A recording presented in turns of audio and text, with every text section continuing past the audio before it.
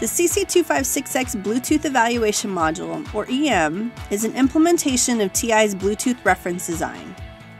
It supports CC2560 Bluetooth and CC2564 dual mode devices with Bluetooth and Bluetooth Low Energy or ANT. The CC256X devices are available in a QFN package from TI and its distributors. Using the CC256X reference design files available on TI.com, you can use this design on your board to evaluate Bluetooth. The design files, schematics, BOM, layout, and Gerbers are all available with this reference design.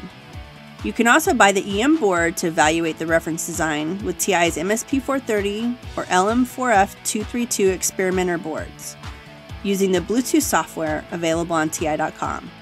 Visit ti.com slash cc256xrefdesign to learn more